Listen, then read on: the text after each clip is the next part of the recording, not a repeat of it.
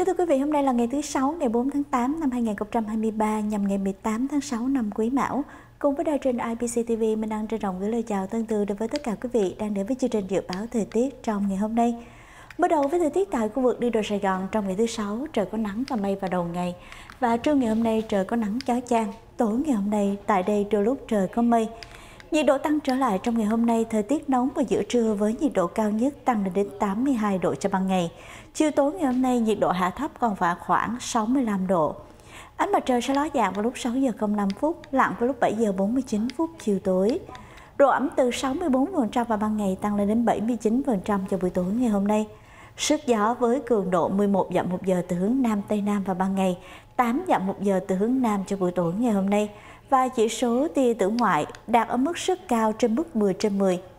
Bước sang những ngày cuối tuần này, nhiệt vẫn tiếp tục tăng, thời tiết nóng hơn. Sáng ngày mai trời có nắng và mây đang xen vào ban ngày, tối ngày mai đôi lúc trời có mây.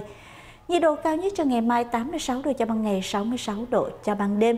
Sức gió đi qua khu vực này trong ngày mai từ 7 tới 10 dặm một giờ từ hướng Nam Tây Nam và mặt trời ngày mai sẽ bắt đầu vào lúc 6 giờ 06 phút.